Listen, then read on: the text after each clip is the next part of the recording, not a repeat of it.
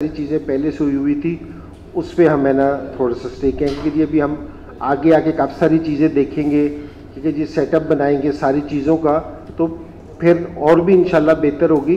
लेकिन ये भी जो नाम है इन्होंने ये भी जो पीछे हमें आके मिले हैं नाम क्योंकि ये भी लड़कों ने फ़र्स्ट क्लास में भी और सारी जगह पे परफॉर्मेंस दे रखी थी उसके बेस पे ये सारों के नाम थे।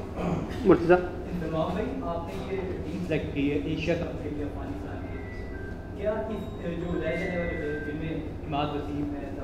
और भी काफ़ी सारे प्लेयर जो वाइट बॉल में अच्छा करते आ रहे हैं। आप उनको भी कंसीडर करेंगे वर्ल्ड कप की सिलेक्शन के या इन्हीं के ऊपर इन्हीं से टीम सेलेक्ट करेंगे वर्ल्ड कप के नहीं देखें हर सिलेक्शन है ना, सारे टाइम ओपन होती है।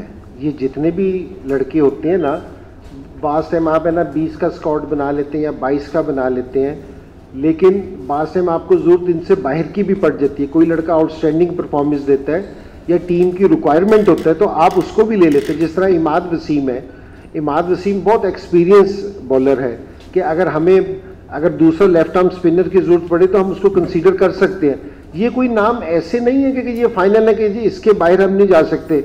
हमारे पास पूरा ये एरिया खुला है। किसी की भी हमें प्लेयर की ज़रूरत पड़ेगी तो हम उसको कंसीडर कर सकते हैं। और ये जो आपने ये जमान का किया था, जमान वाइट बॉल से ज़रूर उसने अच्छी परफॉर्मेंस दी है और और लेकिन वो अभी बहुत ये 50 ओवर के मैचेस है ना, उसका उसका इतना ज़्यादा एक्सपीरियंस नहीं है, लेकिन उसमें पोटेंशियल है। सारों को पता है कि वो अच्छा बॉलर है, उसने टी ट्वेंटी में बहुत ज़बरदस्त परफॉर्मेंस दी है। तो लेकिन अगर वो थोड़े से मैचेस खेलेगा फ़र्स्ट क्लास के तो डेफिनेटली ये पाकिस्तान के लिए एसेट होगा। जी जमाम भाई चीफ सेलेक्टर हैं, आप दोबारा ज़िम्मेदारी मिली है आपको। माजी में भी आपने जिस तरह कहा है कि मिकी के साथ काम किया है। एक ये भी प्रैक्टिस है क्योंकि आप मुख्तसर आप चीफ सेलेक्टर हैं और बहुत साथ मेम्बरान भी हैं, डायरेक्टर भी हैं और हेड कोच भी। क्या प्लेइंग एलेवन में भी आपका इनपुट लिया जाएगा और क्या ये जो टीम है आपने कंडीशन श्रीलंका में ज़्यादा मैचेस हैं एशिया कप के और ये सीरीज़ भी अफ़गानिस्तान के लिए, क्या आप समझते हैं कि ये आपका जो इस तजर्बा है उसके मुताबिक ये टीम वहाँ अच्छा परफॉर्म करेगी। सारों से पहले तो इंशाल्लाह ये टीम अच्छा परफॉर्म करेगी। मेरे ख्याल में सारे लड़के अच्छे हैं और जो दूसरा आपने सवाल किया कि, कि जी किस फॉर्मेट पे सिलेक्शन होगी कि अभी ये सारे लोग सिलेक्शन का हिस्सा है तो मैं आपको ये चीज़ करूँगा कि जी सिलेक्शन वापसी जिस तरह पहले होती थी उस तरह होगी कि, कि जी मैं सिलेक्शन टीम के साथ काम करूँगा। ये बड़ा ज़रूरी है इस चीज़ का कि जो सिलेक्टर्स हों वो जिस टाइम हमारा फ़र्स्ट क्लास के मैचेस वगैरह हो रहे हो वो ग्राउंड में जाके देखें प्लेस को पिन पॉइंट करें कि ये नहीं है कि जी मैं कोई पेपर पे देख के सिलेक्शन करें। आपको चाहिए कि, कि जी ग्राउंड में जाके प्लेस को देखें उसने किस कंडीशन में स्कोर किया है किसमें किया है। तो ये इंशाल्लाह अभी आप थोड़े दिनों में देखेंगे जी एक सिलेक्शन टीम भी अनाउंस होगी जिसको अभी अनाउंस करेंगे थोड़े दिनों के बाद। तो वो फिर अपनी सिलेक्शन करेगी और जिस तरह पहले होता था कि जी मिकी और दूसरे वो उसी तरह ही सिस्टम वो सिलेक्शन का हिस्सा नहीं होंगे वो जिस तरह पहले मैं सिलेक्टर था जिस तरह वो प्रोसीजर था उसी तरह ही चलेगा। अगर देखिए-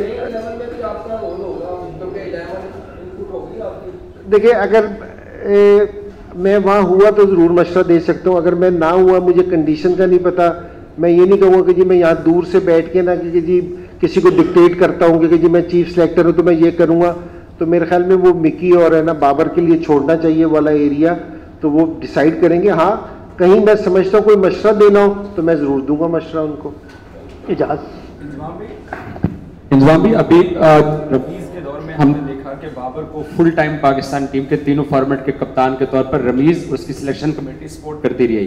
लेकिन जब नजम सेठी की रजीम आई चार महीने के लिए तो अटेम्प्टें की गई कि बाबर को टी ट्वेंटी फॉर्मेट से हटा के शाहीन को कप्तान बनाया जाए या फिर शादाब और रिजवान को नायब कप्तानी पे हिलाने की कोशिश की गई अब नया सेटअप आ चुका है, आप और जका साहब। तो आप लोग कप्तान के बारे में, नायब कप्तान के बारे में किस माइंडसेट के साथ आगे जाएँगे? देखिए जो कप्तान है ना, ये करने से आती है कि बहुत ज़्यादा चेंजिंग करने से मेरे ख्याल में इतना मुनासिब नहीं होता।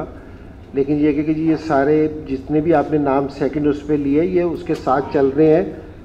सेकंड उस पर भी तैयार होना चाहिए। लेकिन मेरे ये ख्याल में कि बाबर अच्छी कप्तानी कर रहा है और जिससे मैं पहले भी चीफ सेलेक्टर आया था तो जिस टाइम मुझे सिलेक्शन मिली थी, उस टाइम सरफराज तीनों फॉर्मेट का कप्तान नहीं था।